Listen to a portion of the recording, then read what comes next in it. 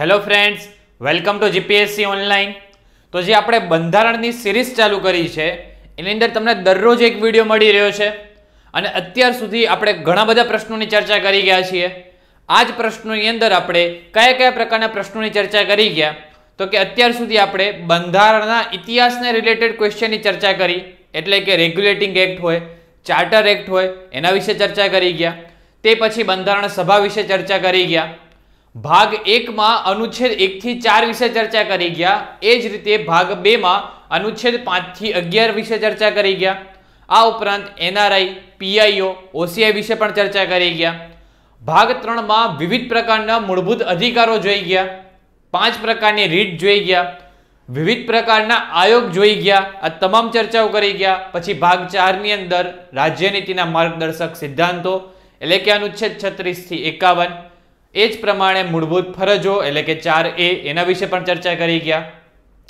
આ ઉપરાંત રાષ્ટ્રપતિ, ઉપરાષ્ટ્રપતિ, લોકસભા, રાજ્યસભા આ તમામ પ્રશ્નોની પણ આપણે ચર્ચા કરી ગયા. તો હજી પણ આપણો ભાગ પાંચ ચાલુ જ છે એટલે કે અનુચ્છેદ બાવનથી કરીને અનુચ્છેદ એકસો એકાવન વિશે આપણી ચર્ચા ચાલુ છે. તો આજે જોઈએ નવા વિડીયોમાં નવા વીસ પ્રશ્નો. જોઈએ સૌથી પહેલો ક્વેશ્ચન શું છે? પહેલો ક્વેશ્ચન છે કે બ્રિટિશ શાસન દરમિયાન ભારતમાં પ્રથમ બજેટ કોના દ્વારા રજૂ કરવામાં આવ્યું હતું? હવે આપણને ખ્યાલ છે કે બ્રિટિશ શાસન દરમિયાન સૌપ્રથમ અઢારસો ને સાહીઠમાં બજેટ રજૂ કરવામાં આવ્યું હતું. અઢારસો ને સાહીઠમાં બજેટ રજૂ કરવામાં આવ્યું હતું અને અઢારસો સાહીઠમાં જેમ્સ વિલ્સન દ્વારા બજેટ રજૂ કરવામાં આવ્યું હતું. ક્લિયર છે? જેમ્સ વિલ્સન દ્વારા અઢારસો સાહીઠમાં બજેટ રજૂ કરવામાં આવ્યું છે. હવે આવો નવો ક્વેશ્ચન એવો પૂછાઈ શકે કે આઝાદ ભારતમાં કોના દ્વારા બજેટ સૌ પ્રથમવાર રજૂ કરવામાં આવ્યું? આઝાદ ભારતમાં. પછી આવો ક્વેશ્ચન પૂછાઈ શકે કે સૌથી વધારે વાર બજેટ કોણે રજૂ કર્યું છે? ક્લિયર સૌથી વધારે વાર કોણે બજેટ રજૂ કર્યું છે? પછી એવું પૂછાઈ શકે કે બજેટ કોના દ્વારા રજૂ કરવામાં આવે છે? બજેટ કોના દ્વારા રજૂ કરવામાં આવે છે? આવા ક્વેશ્ચન પૂછાઈ શકે છે. તો દરેક પ્રશ્નોની આપણે ચર્ચા કરીશું. પેલો ક્વેશ્ચન આપણે જોયો. બ્રિટિશ શાસન દરમિયાન ભારતમાં પ્રથમ બજેટ કોના દ્વારા? તો જેમ્સ વિલ્સન દ્વારા. અને કઈ સાલમાં? તો અઢારસો ને સાહીઠમાં. ઓકે હવે જોઈએ આપણે question number two question number two શું કહે છે? આઝાદ ભારતમાં પ્રથમ નાણામંત્રી કોણ હતા? આઝાદ ભારતના પ્રથમ નાણામંત્રી તો તમે ખાસ યાદ રાખજો, જ્યારે ભારત આઝાદ થયું, એ સમયની કેબિનેટ બહુ પૂછાય છે. જેમ કે એક વાત તમને કરું, રાજકુમારી અમૃત કોર. રાજકુમારી અમૃત કૌર. તો આ પૂછાય છે પ્રથમ મહિલા કેબિનેટ કક્ષાના મંત્રી. ક્લિયર પછી શ્રી સરદાર વલ્લભભાઈ પટેલ, તો તેમના જોડે ગૃહ ખાતું હતું. ક્લિયર છે? તો આ પ્રકારના પ્રશ્ન પૂછાતા હોય છે. જેમ કે કાયદા મંત્રી, તો બાબા સાહેબ આંબેડકર હતા. તો એ જ પ્રમાણે જો નાણાં મંત્રી પૂછાય, તો ખાસ યાદ રાખવું, R K Shanmukham Chetty. Clear છે? આર કે સણમુખમ શેટ્ટી એ આઝાદ ભારતના પ્રથમ નાણામંત્રી હતા. ક્લિયર પછી નેક્સ્ટ ક્વેશ્ચન જોઈએ. ક્વેશ્ચન નંબર ત્રણ. રેલવે બજેટની સામાન્ય બજેટમાંથી અલગ કઈ સમિતિને ભલામણોને આધારે કરવામાં આવી? હવે આ કોન્સેપ્ટ ઉપરથી છે ને જીપીએસસી બે હજાર સત્તર. જીપીએસસી બે હજાર સત્તરમાં ક્વેશ્ચન પૂછાઈ ગયો. ક્લિયર કેમ કે ત્યારે કરંટ અફેરમાં ચર્ચામાં રહીતું. હતું પેલા સામાન્ય રીતે શું થતું હતું? તો કે સામાન્ય બજેટ અલગ હોય અને રેલવે બજેટ અલગ હોય. આ સમયગાળાથી અલગ અલગ બજેટની જગ્યાએ એક જ બજેટ આવવાનું શરૂ થયું. ક્લિયર તો જે આ અલગ અલગ બજેટ આવવાની પ્રથા હતી, એ કઈ કમિટીએ ભલામણ કરી હતી?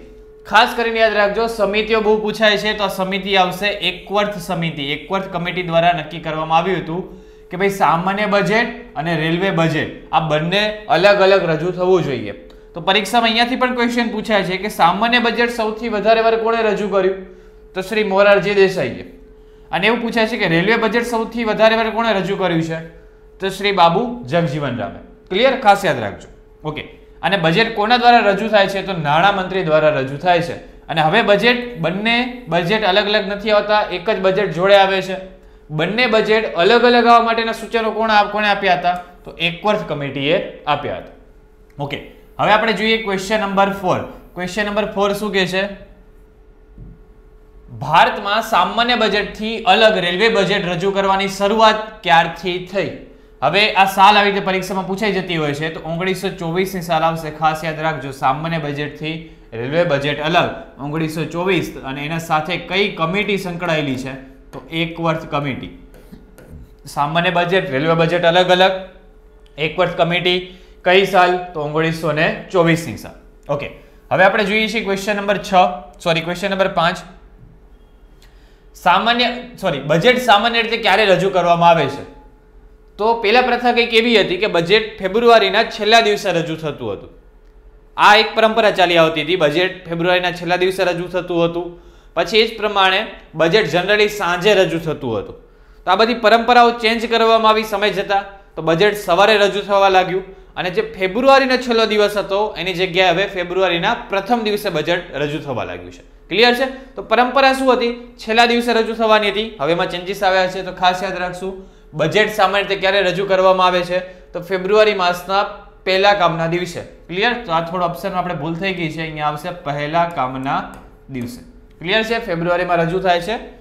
ઓકે હવે જોઈએ ક્વેશ્ચન નંબર સિક્સ સામાન્ય બજેટ ગૃહમાં કોણ રજૂ કરે છે? હવે મેં તમને કીધું હતું કે બજેટને લગતા કેવા કેવા ક્વેશ્ચન તૈયાર કરવાના ખ્યાલ છે તમને બજેટ તો જો કઈ કઈ બાબતો યાદ રાખવાની. સૌથી પહેલા અઢારસો સાહીઠમાં કોના દ્વારા? જેમ્સ વિલ્સન દ્વારા. પછી ઓગણીસો ચોવીસમાં કઈ કમિટી આના સાથે સંકળાયેલી છે કમિટી? તો એકવર્થ કમિટી. શું એકવર્થ કમિટી દર્શાવે છે? તો કે રેલવે બજેટ અને સામાન્ય બજેટ અલગ અલગ રજૂ થવું જોઈએ. તો પરીક્ષામાં આથી બે ક્વેશ્ચન આવશે કે રેલવે બજેટ સૌથી વધારે વાળું કોણે રજૂ કર્યું? તો બાબુ જગજીવન રામે. ક્લિયર છે? અને સામાન્ય બજેટ સૌથી વધારે વાર કોણે રજૂ કર્યું? તો મોરારજી દેસાઈએ. ક્લિયર પછી એવો પ્રશ્ન પૂછાય કે હવે રેલવે બજેટને સામાન્ય બજેટની જગ્યાએ એક જ બજેટ રજૂ થાય છે. તો આ બજેટ કોણ રજૂ કરે છે? તો બજેટ કોણ રજૂ કરે છે? તો કે નાણાં મંત્રી રજૂ કરે છે. નાણાં મંત્રી. ક્લિયર તો એકવાર વીડિયો પોસ્ટ કરીને આટલી બાબત નોટ કરી લેજો. તો બજેટમાંથી ગમે ત્યાંથી ક્વેશ્ચન આવે, તો તમને આવડી જવું જોઈએ. તો સામાન્ય બજેટ ગૃહમાં કોણ રજૂ કરે છે? તો કોણ રજૂ કરે છે? તો આ તમારો જવાબ શું થશે? નાણાં મંત્રી રજૂ કરે છે. આ ચાર્ટ ખાસ મગજમાં તમે રાખજો. હવે આપણે જોઈએ છીએ ક્વેશ્ચન નંબર સાત. ક્વેશ્ચન નંબર સાત શું કહે છે? તો સૌથી વધારે વાર સામાન્ય બજેટ કોણે રજૂ કરેલ છે? અગેન ફરી પાછું રિપીટ કરું. બજેટ અઢારસો સાહીઠમાં કોના દ્વારા? જેમ્સ વિલ્સન દ્વારા. જેમ્સ વિલ્સન દ્વારા. બજેટ સાથે ઓગણીસો ચોવીસની એકવર્ત કમિટી સંકળાયેલી છે. એકવર્ત કમિટી શું દર્શાવે છે? તો રેલવે બજેટ અને સામાન્ય બજેટ બંને અલગ અલગ રજૂ કરવાનું. તો રેલવે બજેટ સૌથી વધારે વાર કોના દ્વારા રજૂ થયું છે? તો બાબુ જગજીવન રામ દ્વારા. અને સામાન્ય બજેટ સૌથી વધારે તો મોરારજી દેસાઈ દ્વારા. હવે એક પ્રશ્ન છે, સૌથી વધારે વાર સામાન્ય બજેટ કોણે રજૂ કર્યું છે? તો કોણ આવશે? શ્રી મોરારજી દેસાઈ. ક્લિયર છે? હવે આપણે જોઈએ ક્વેશ્ચન નંબર આઠ.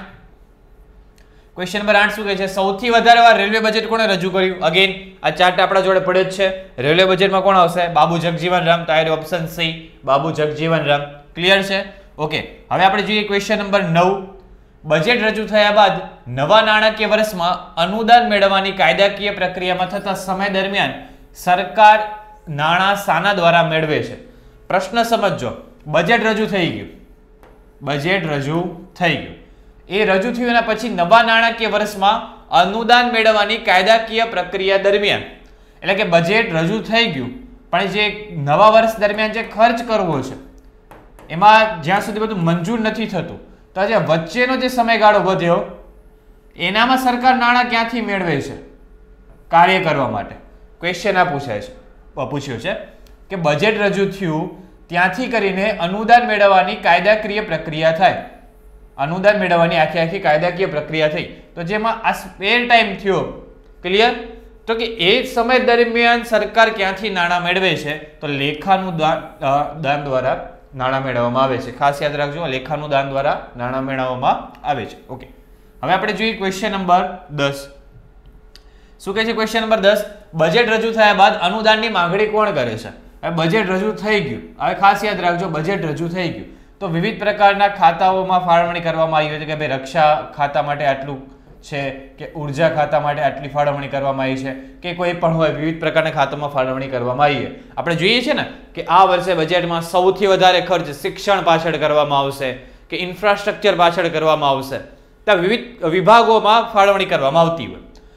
તો પછી કોઈકને લાગતું હોય કે ભાઈ અમારા ખાતાને ઓછી ફાળવણી થઈ છે. તો કોને લાગ્યું એવું? તો જે તે વિભાગના મંત્રીને લાગ્યું હોય. તો પછી અનુદાનની માંગણી કરી શકે. તો શું આવશે? વિવિધ વિભાગોના મંત્રી અનુદાનની માંગણી કરી શકે છે. બજેટ રજૂ થયા બાદ અનુદાનની માંગણી કોણ કરે છે? તો વિવિધ વિભાગોના મંત્રી કરે છે. ક્વેશ્ચન નંબર અગિયાર શું કહે છે? અનુદાનની માંગમાં છેલ્લા દિવસે લોકસભાના અધ્યક્ષ દ્વારા બાકી રહેલી તમામ અનુદાનની માંગ પર મતદાન માટે પ્રસ્તાવ મૂકવામાં આવે છે તેને શું કહેવાય છે? હવે તમે સમજો બજેટ છે, બરાબર? પછી અનુદાનની માંગ થાય છે. અનુદાનની માંગ થાય છે. પણ સમયનો અભાવ છે. સમયનો અભાવ છે અને છેલ્લો દિવસ આવી ગયો છે ચર્ચાનો. તો પછી શું થશે? તો એક સાથે મતદાન કરવાનું આયોજન કરવામાં આવશે. જે લોકસભાના અધ્યક્ષ હશે નક્કી કરશે કે ભાઈ, જે જેટલી તમામ અનુદાનની માંગ છે એના મતદાન માટે શું મૂકી દેશે? પ્રસ્તાવ મૂકી દેશે. અને એને ઝડપથી પસાર થઈ જાય. એ પ્રોસેસ શું કહેવાશે? તે પ્રોસેસને કહેવાશે ગિલોટીન. ક્લિયર ખાસ આવા શબ્દ બધા યાદ રાખજો કે ગિલોટીન એટલે શું? પછી એક શબ્દ આવે છે લેમડક. લેમડક એટલે શું? પછી એક શબ્દ આવે છે કિચન કેબિનેટ. આ બધા બંધારણ સાથે સંકળાયેલા શબ્દો છે. કિચન કેબિનેટ એટલે શું? પછી એ જ પ્રમાણે એક ક્વેશ્ચન આવે છે સાયનિડાઈ એટલે શું? સાયનિડાઈ. પછી એ જ પ્રમાણે આવે છે શૂન્યગાળ એટલે શું? તો આ બધા શબ્દોની અત્યારે ચર્ચા કરું, સમજ, સમજીએ. ગિલોટીન શબ્દને તો આપણે જોઈ ગયા. લેમડક એટલે શું? કે માની લ્યો કોઈ વ્યક્તિ બે હજાર ઓગણીસમાં ચૂંટાઈ આવ્યો છે. હવે ચૂંટણી ક્યારે થશે? બે હજાર ચોવીસમાં લોકસભાની. તો બે હજાર ઓગણીસનો વ્યક્તિ જો બે હજાર ચોવીસમાં ફરીથી ચૂંટાઈને ન આવે ને, ફરીથી ચૂંટાઈને ન આવે, તેને લેમડક કહેવામાં આવે. એટલે જ બે હજાર ઓગણીસનું જે છેલ્લું સત્ર હોય ને બે હજાર ઓગણીસનું સૌથી છેલ્લું સત્ર અને બે હજાર ચોવીસની લોકસભાની ચૂંટણી પહેલાનું સત્ર. એને કેવું સત્ર કહેવામાં આવે છે? તો એને લેમડક સત્ર કહેવાય છે. લેમડક સત્ર. તો આના ઉપરથી જ લેમડક સત્ર તરીકે ઓળખવામાં આવે છે. ક્લિયર પછી છે કિચન કેબિનેટ. તો કિચન કેબિનેટ એટલે શું? તો કે પીએમ, પ્રધાનમંત્રી છે ને, એના અંગત મિત્રો પરિવારના સદસ્યો અગત્યના કોઈ પણ કેબિનેટ કક્ષાના મંત્રીઓ, આના વડે એક સલાહ સૂચન માટે એક કિચન કેબિનેટ બનાવવામાં આવે. કે પ્રધાનમંત્રીને કોઈક નિર્ણય લેવા છે, તો કિચન કેબિનેટના સલાહ સૂચનથી લઈ શકે, તો એને કહેવાય કિચન કેબિનેટ. પછી જ પ્રમાણે એક શબ્દ આવે છે સાયનિડાઈ તો સાયનિડાઈ એટલે શું? તો કે અનિશ્ચિત સમયગાળા સુધી સભાને સ્થગિત કરી દેવી, એને શું કહેવાશે? સાયનિડાઈ પછી એ જ પ્રમાણે છે શૂન્યકાળ. તો શૂન્યકાળ તમે જનરલી આવા પ્રશ્નો જોતા હશો, તારાંકિત પ્રશ્નો, અતારાંકિત પ્રશ્નો, તમામની ચર્ચા કરીશું આપણે. તો સાઇન શૂન્યકાળ એટલે શું? તો કે તમે કોઈ પણ પૂર્વ મંજૂરી વગર અથવા તો નોટિસ આપ્યા વગર એ સમયગાળા દરમિયાન તમે કોઈ પણ પ્રકારના ક્વેશ્ચન કરી શકો. એને સેના તરીકે ઓળખવામાં આવે છે શૂન્યકાળ અને આ શૂન્યકાળ એ ભારતના બંધારણ દ્વારા વિશ્વને આપવામાં આવેલી ભેટ છે. ભારત સોરી ભારતની લોકસભા દ્વારા વિશ્વને આપવામાં આવેલી ભેટ માનવામાં આવે છે આ શૂન્યકાળને તો ખાસ યાદ રાખશું. સામાન્ય રીતે શૂન્યકાળનો સમયગાળો અગિયારથી બાર જેવો હોય છે, પણ એમાં એવું ફિક્સ ના હોય કે આવો જ સમયગાળો રાખો. પણ સામાન્ય રીતે આ જોવા મળે છે. ક્લિયર છે? ઓકે તો આટલી બાબત આપણે યાદ રાખશું. બધા શબ્દો કે ગિલોટીન ગિલોટીન એટલે શું? લેમડક એટલે શું? સાયનિડાઈ એટલે શું? કિચન કેબિનેટ એટલે શું? શૂન્યકાળ એટલે શું? ક્લિયર છે? ઓકે હવે આપણે જોઈએ છીએ ક્વેશ્ચન નંબર બાર. ક્વેશ્ચન નંબર બાર શું કહે છે? ક્વેશ્ચન નંબર બાર જોઈએ. ક્વેશ્ચન નંબર બાર. કોઈ પણ ફંડમાંથી નાણાં ક્યારે ઉપાડી શકાય છે? માની લો કે તમે ફંડ ફાળવી દેવામાં આવ્યું. બજેટમાં ફાડી ફાળવી દેવામાં આવ્યું છે કે આ પ્રમાણે આટલા કોઈ પણ, ધારો કે શિક્ષણ ખાતું છે, તો આટલા કરોડની ફાળવણી. તો શું નક્કી બજેટમાં દર્શાવી દીધું, એટલે બીજા દિવસે તમે એ જે તે વિભાગના મંત્રી શિક્ષણ માટે એટલા રૂપિયા લઈ શકશે, તો નહીં લઈ શકે. તે કે એની પ્રોસેસ હોય. કઈ પ્રોસેસ હોય આખી આખી? તો કે છેલ્લે વિનિયોગ વિધેયક પસાર થાય ને એના પછી જ થઈ શકે. બજેટની આખી પ્રોસેસ હોય છે, એની અંદર છેલ્લું એક સ્ટેપ હોય છે, વિનિયોગ, વિધેયક પસાર થઈ ગયું. પછી જે તે વિભાગના મંત્રી એમને જે તે નાણાં ફાળવવામાં આવ્યા છે, તેનો ઉપાડ કરી શકે છે. તો કોઈ પણ ફંડમાંથી નાણાં ક્યારે ઉપાડી શકાય? તો વિનિયોગ, વિધેયક પસાર થયા પછી. આ તો ક્વેશ્ચન નંબર બાર. હવે જોઈએ આપણે ક્વેશ્ચન નંબર તેર. અંદાજ સમિતિમાં કુલ કેટલા સભ્યો હોય છે? મને એક્ઝામ એક્ઝેક્ટલી ખ્યાલ નથી, પણ ડીવાયએસઓ આઈ થિંક ડીવાયસોની એક્ઝામ હતી બે હજાર ઓગણીસ અથવા તો બે હજાર અઢાર. નોટ શ્યોર પણ એક એક્ઝામમાં ક્વેશ્ચન પૂછાયો હતો કે નીચેનામાંથી કઈ સમિતિમાં તમામ સભ્યો લોકસભાના હોય છે. એમાં છે ને જાહેર હિસાબ, જાહેર જાહેર સાહસ અને અંદાજ સમિતિ. એમ ત્રણ ઓપ્શન આપ્યા હતા. એક, બે, ત્રણ.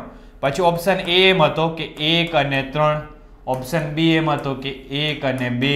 પછી એક ઓપ્શન એમ હતો કે માત્ર ત્રણ. અને એક ઓપ્શન એમ હતો કે એક, બે ને ત્રણ, ત્રણે ત્રણ.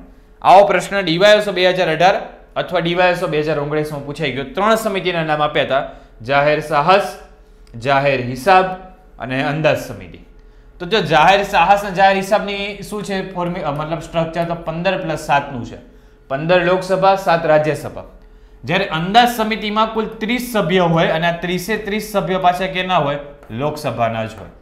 ક્લિયર એટલે ખાસ યાદ રાખવાનું, પરીક્ષામાં ક્વેશ્ચન આ રીતે પૂછાઈ શકે છે કે નીચેનામાંથી કઈ સમિતિના બધા જ સભ્યો લોકસભાના હોય છે?